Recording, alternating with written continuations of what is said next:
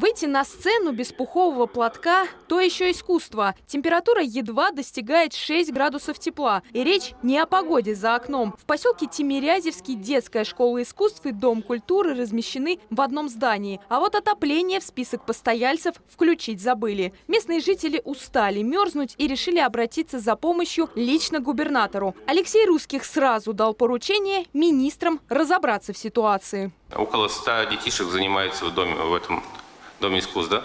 Да. Понятно.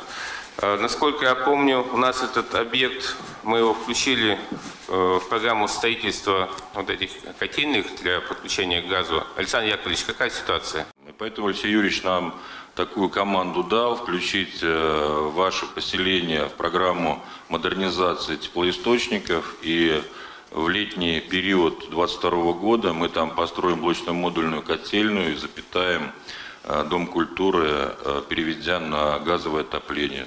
По плану работы должны завершить до 1 октября 2022 года. Предполагаемая расходная часть составит больше 2 миллионов рублей. Александра Никитина, Управда ТВ.